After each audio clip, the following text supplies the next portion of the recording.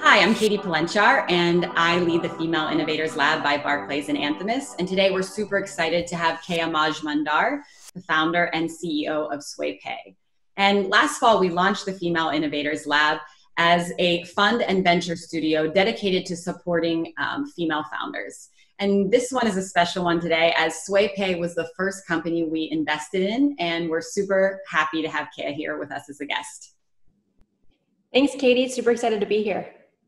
So, Kaeya, before we jump in, can you share what SwayPay is? Sure. So, SwayPay is an alternative payment method that plugs into any online retailer and allows shoppers to earn the best discounts by splitting their payment in part dollars, part social media posts, featuring their order directly at the point of sale. Thanks, Kaeya.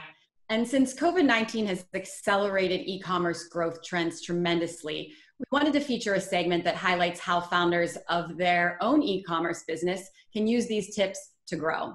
And who better suited to share these insights than you, Kaeya? So take it away with today's top five. Number one, sell what's already selling with a twist.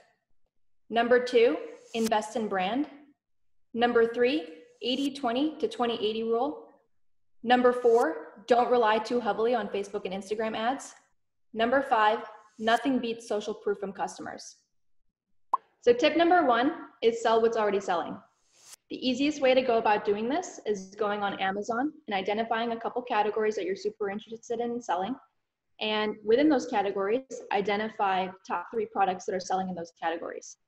A great, and put, put your own spin on it. A great example of this is a company called Dude Wipes, which sells personal cleaning wipes specifically for men. And that was their twist that they put on it, and they're doing super well.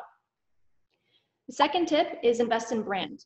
While it's actually pretty easy to sell a product for the first time to a first customer without a super strong brand, what keeps people coming back is your brand voice and your brand authenticity. This doesn't mean you have to spend a ton of money on this. There are great resources like Penji and Design Pickle, which allow you to pay no more than two to three hundred dollars a month to continuously uh, deliver a strong brand for your product and for your customers. Tip number three is what I like to call the 80 20 to 20 80 rule.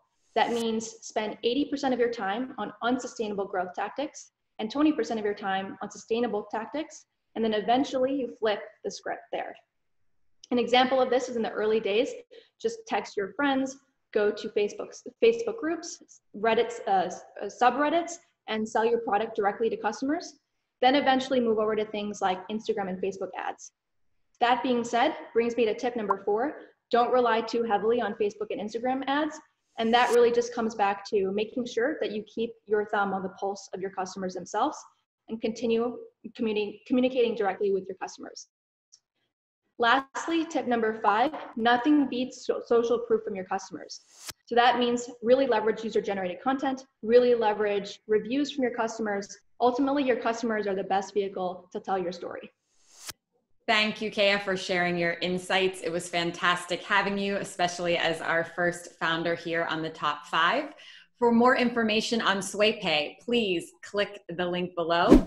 And at the Female Innovators Lab by Barclays and Anthemis, we're excited to continue to support, invest, and build female founded fintech businesses. Uh, we look forward to the next top five. Thanks for tuning in.